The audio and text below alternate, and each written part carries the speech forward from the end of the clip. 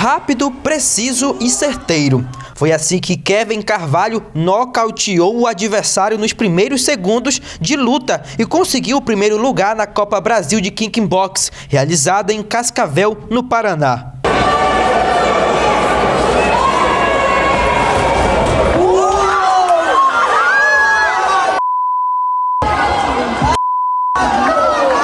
A competição nacional contou com a participação de atletas de várias partes do país, incluindo de Altamira, onde Kevin se consagrou campeão pelo terceiro ano consecutivo.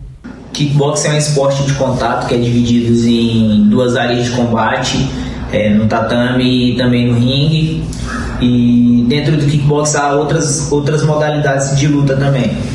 É, minha preparação para chegar até aqui foi meses de treinamentos de alta intensidade, dois a três treinos por dia, né? E chegar no campeonato e, e sair com a sensação de dever cumprido, né? Por desfrutar de todos os treinamentos, de chegar aqui e ser recompensado por um nocaute, né? A Copa Brasil de Kickbox é um evento realizado anualmente pela Confederação Brasileira de Kickbox, que faz duas competições durante o ano, sendo uma no primeiro semestre, que foi realizada em Vila Velha, no Espírito Santo, onde o Altamirense foi vice-campeão, e agora no segundo semestre, onde Kevin conseguiu o tricampeonato. O atleta percorreu mais de 3 mil quilômetros para participar da competição no sul do Brasil e agora vai trazer a medalha de ouro para casa, em Altamira.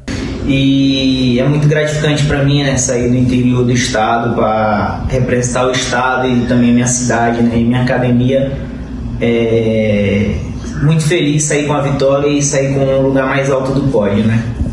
Junto com Kevin, outro atleta altamirense também participou da disputa. Alan Cairon conseguiu a medalha de bronze em duas categorias do campeonato. O kickbox é uma modalidade de esporte de combate que combina técnicas de socos e chutes, oriunda de diferentes artes marciais, como o karatê, o muay thai e o boxe. O esporte se caracteriza por golpes de mãos e pés, com o objetivo de nocautear ou pontuar contra o oponente, e é praticado tanto em competições profissionais quanto amadoras, sendo também popular como uma atividade física para condicionamento físico, defesa pessoal e desenvolvimento de coordenação motora.